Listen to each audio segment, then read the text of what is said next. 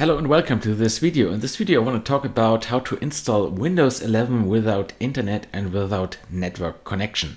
Since the new 22H2 version of Windows 11 you can no longer install Windows without having a network connection or you are connected to the internet.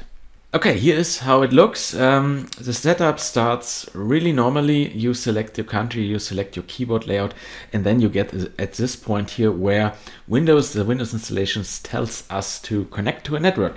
And if we are not able here to connect to a network, the next button here is disabled and we cannot continue.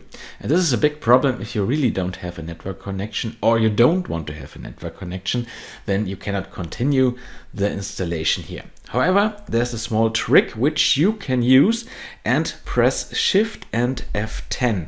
And this will open here a command prompt where we can enter the following command OOBE slash and then bypass NRO.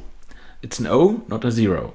Hit enter, and after that, this installation restarts and the computer restarts and the installation will continue after a few seconds. As you can see, the installation now restarts. The installation starts as before. We select our country, then the keyboard keyboard layout, and then we again we get the screen here where Windows wants us to connect to a network. However, we now have this button available here, I don't have internet.